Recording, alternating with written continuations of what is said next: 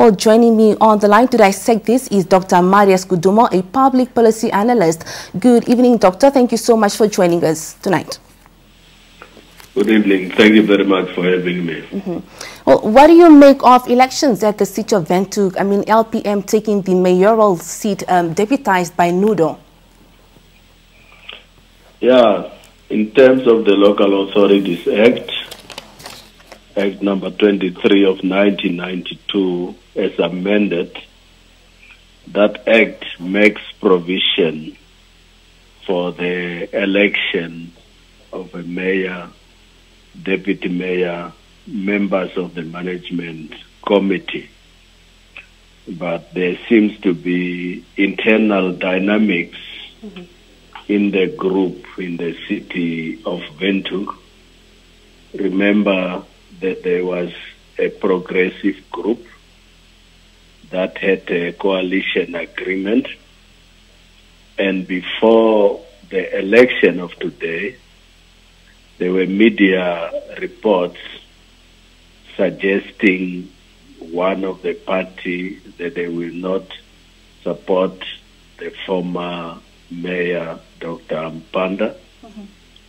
And of course, today, before the election, there was a joint media release from affirmative repositioning and PDM indicating that they will not participate. So it's a normal electoral process, but there are indications that there are internal dynamics, especially in the group that called itself the Progressive Group. Mm-hmm.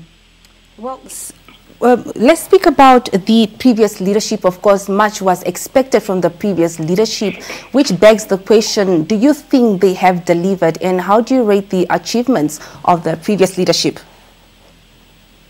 Look, one year is not sufficient to produce results that uh, may be tangible. But I, as a person, was satisfied that they were clear in terms of the issues that they wanted to focus on. Land delivery, efficient land delivery, paying attention to the situation in the informal settlement. So, in terms of policy articulation, it was very clear where they want to focus, where your disadvantaged people are. But one year is not sufficient for you to judge results, especially in a complicated situation like the city of Windhoek. Mm -hmm. Uh, Dr. Kudumo, back to the first question. Actually, you, you, touched on internal dynamics. Now, with the current leadership that is now in force, how do you see these uh, uh, services being effectively delivered, especially considering the time frame? Look, when you have conflicts or internal dynamics that are not based on really ideological orientation rather than maybe personality issues and importance, self-importance, you are not going to focus on the key areas that you are supposed to be focusing on. When you read the Local Authorities Act, in terms of the powers, duties, and functions of councils. All those functions are basically about service delivery. And roughly, you are talking about 25 functions. Mm-hmm. That is one of the act that's elaborative in terms of the functions. So if there are internal dynamics obviously you are going to spend your whole time in terms of those internal dynamics, the infighting, instead of really focusing on service delivery mm-hmm. for the residents. Mm-hmm. Well, uh, just as you have mentioned, well, now and then you hear opposition parties usually campaigning, if I may say, to, of course, topple the ruling party. Now, with all these infightings too among the opposition, as you have mentioned, will they succeed one day to govern? And what, do she, what, what should they really consider in this regard? Yeah, look, we must not take the voters for granted. They might not have gone to school, but they have wisdom. They have understanding. Mm-hmm. They make informed choices when they vote. And they are looking at who among these is the best to address our problems. Who among these have our best interests at heart? And remember that all the studies that are being done, mm-hmm.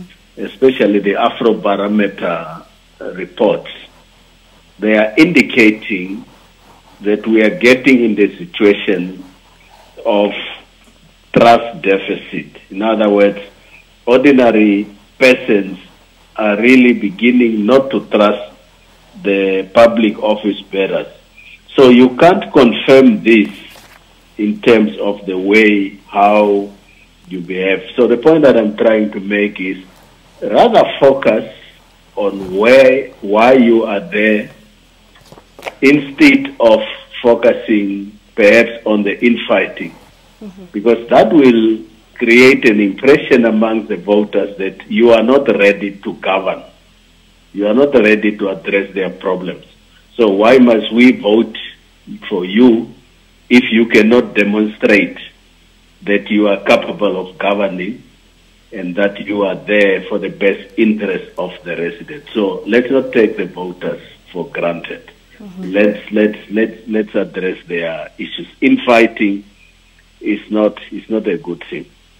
Right. Lastly, before you go, Dr. Kudumo, um, is it likely that SWAPO will make a comeback or they will just remain on the bench until 2024?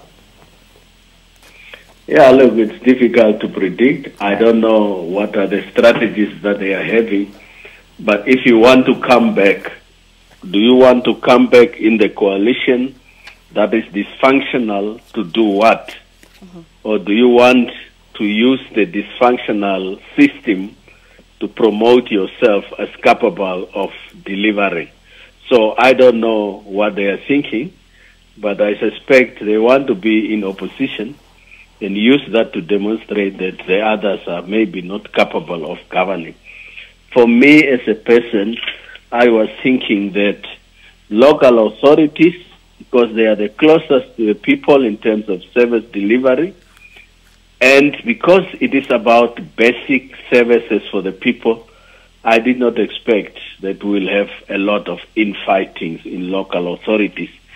Because the biggest problem in Africa is our inability to manage diversity, whether it is political or cultural diversity.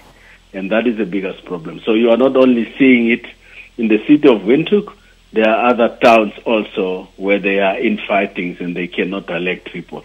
My question is, why are you not capable of electing who's the best person to lead on the basis of the function that you are supposed to perform? Mm-hmm. Then the response is possibly we are getting into personality and identity politics, but not necessarily to self. Well, Dr. Marius Kudumo, public analyst, we thank you so much for your time and information this evening. Thank you very much.